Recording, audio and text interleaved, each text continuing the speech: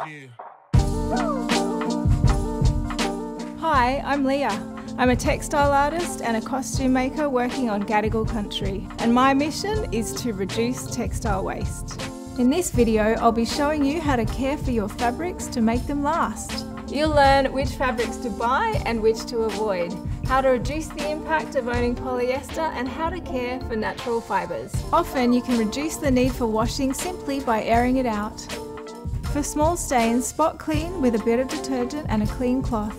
You don't need to wash the whole garment. Make up a bacteria killing spritz to use between washes. It'll keep your clothes smelling great.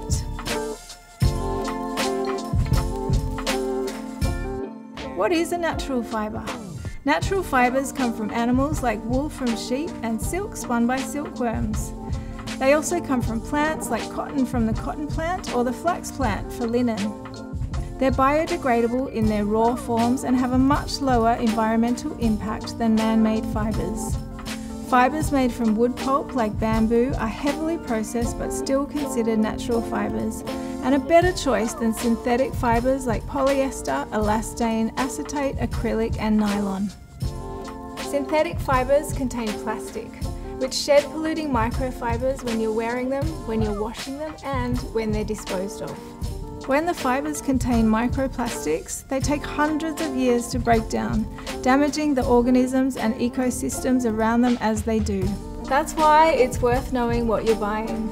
It is possible to find garments that don't contain synthetic fibres. It's a choice that's good for you and good for the planet. When you're buying clothes, check the label. That way you'll know what fabric you're buying and how to care for it to make it last. If you already own synthetic clothes, here's how to wash them to limit their impact.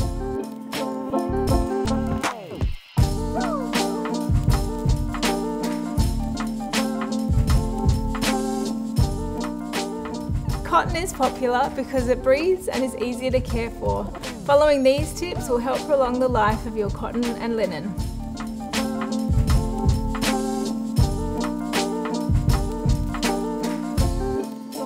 Silk and wool are not as fragile as you might think. Following these instructions will help prevent this becoming this.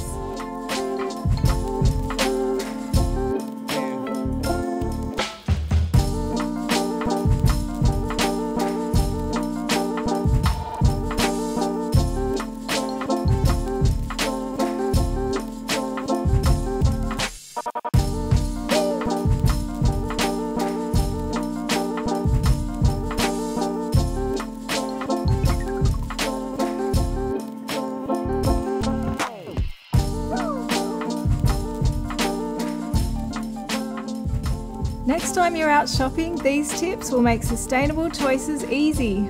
Always look for secondhand first, buy natural fibres when you can, and avoid synthetics.